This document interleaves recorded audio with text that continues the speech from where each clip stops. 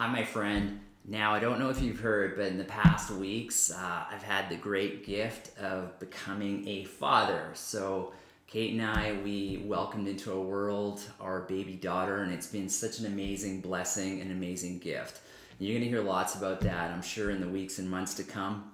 The piece I wanted to talk to you about today was how do we actually manage fear to create success? And it actually relates well to what we just experienced in, in bringing our daughter Indira into this world.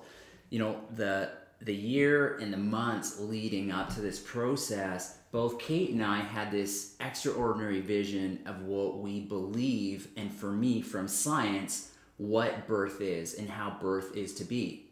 We see it as this beautiful, amazing process that doesn't need to be controlled we don't have to wait for something to go wrong. We can actually just support the natural, innate process of the body and the same power inside my wife that created our daughter has the same power to take her through the birthing process and deliver this extraordinary human being. The fascinating thing with that is that our society, our culture, our consciousness has so much fear, not just around the birth process, but around everything. Everybody around us were such naysayers. I couldn't believe it. Everyone's like, you know, I've had four kids. Yeah, I know you believe that. You'll see what's happened. And people just projecting their stuff onto us. And it was such a fascinating place because I just sat back in a place of quiet contemplation because in a big in a big way they were correct. I had not been through a birth process with my own family. I've been present at births, but not with my own child. So I'm not living with someone 24 7 like I am my wife to see what it is she's actually going through. But what I learned was that our society and consciousness generally has a fear perspective for anything. So when you're out there living your life and you want to embark on a new activity or create something in your life, and all of a sudden you start telling your family, your friends, your coworkers and colleagues, or the person that you know at the post office, what I found is that more often than not, that person is going to tell you how it's too hard, it can't be done, and they know someone or they've been through an experience, and they're essentially going to water down your, your blessing and water down your enthusiasm, your inspiration, and your motivation to bring that to life. So, what I learned through this whole process is I simply had to manage the fear of other people and not let their fears be projected onto us. And that's such an amazing process that you can take with you for life. So many things that I've created in my life and, and how I've created this, this model of health and how I've ran my practice and how I've created my business and how I live my life.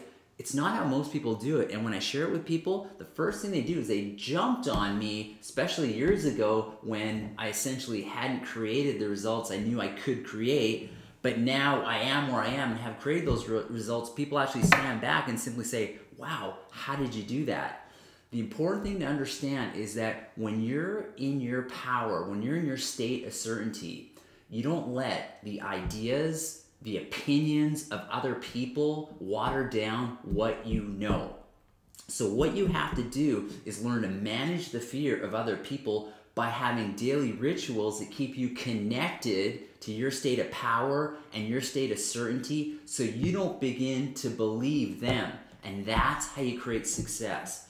I said to my wife, Kate, the birth process her pregnancy, the delivery, that didn't happen by accident. This has been years in the making, and we weren't naive. We had def- different training tools to get us through it, certain mindset. My wife and I took a childbirth education course called Hypnobabies, and that actually took us to a place where my wife was able to have this extraordinary birth, a quick delivery, almost virtually, I won't say, but pain free delivery, and it was amazing. And you can vouch for her, you can ask her, you can fire her an email. It was amazing. So, whatever you're trying to do, and you feel inspired to do, and you feel connected, you know you can have it, you can have it.